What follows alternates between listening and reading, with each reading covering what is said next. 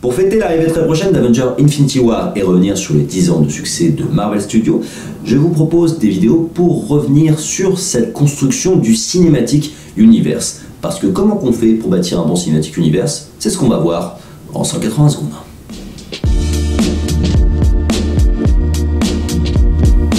Comment lier à un univers cinématographique? C'est la question qu'on est en train de se poser avec l'arrivée de ce nouveau Avenger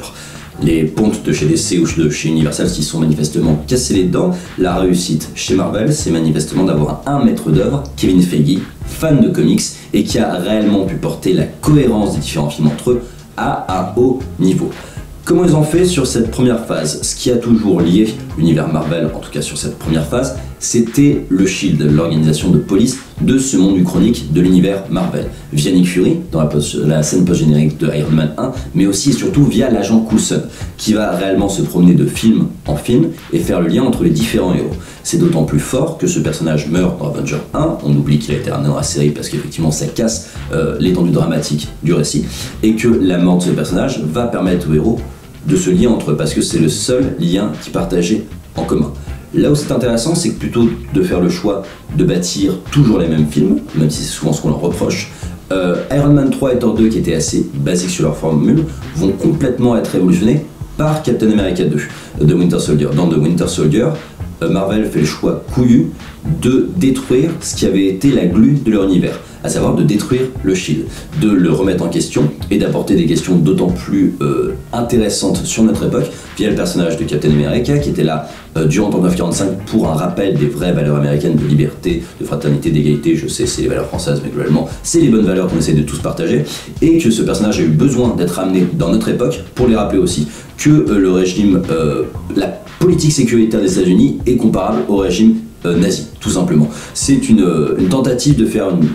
une mise en rapport qui est plutôt couillue et plutôt réussie, et du coup qui révolutionne le côté assez utopique de la première phase pour bâtir sur un récit plus dangereux, sur un récit plus enclin à, parler de notre époque via le fait qu'aujourd'hui l'ennemi est plus facilement dissimulé, plus facilement difficile à reconnaître et qui porte pas un brassard rouge avec euh, une croix gammée. La phase 3, quant à elle, euh, se permet de rejouer avec les personnages, avec les, différents univers déjà amorcés, euh, Galactique avec Guardian Galaxy, plus euh, ville, plus magique avec Thor, etc., etc., etc., et d'en proposer de nouveaux via Doctor Strange, via Spider-Man qui va être beaucoup plus au niveau de la rue, le héros citadin qui s'occupe des petits soucis, via Ant-Man et compagnie. Tout ça nous permet d'élargir la diégèse et donc de proposer un univers plus large qui va pouvoir être, continuer à être bâti sur la phase 4, la phase 5, la phase 6, même sur, Infinity War va poser une fin aux trois premières phases que nous, nous connaissons et que nous nous aimons. Mais cela nous permet aussi de bâtir un avenir profondément différent dans les personnages qu'ils vont proposer, basés sur des seconds couteaux de seconds couteaux, mais qui ont été assez bien intronisés via les héros qu'on nous a présentés, Iron Man, Captain America, etc qu'on ait envie de partager cette suite, d'aller voir cette suite et de pouvoir encore bouffer du Marvel pour 10 ans à venir. Et top.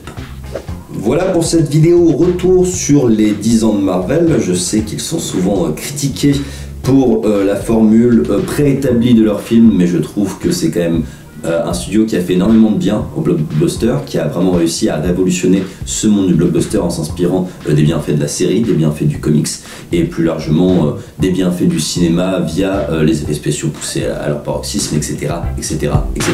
Je vais vous mettre en lien en PDF le mémoire que j'avais fait à l'époque où j'étais à la faculté, qui s'appelait L'Uchronie Marvel, nouvelle forme de récit cinématographique. Point d'interrogation. C'était juste avant le second Avenger.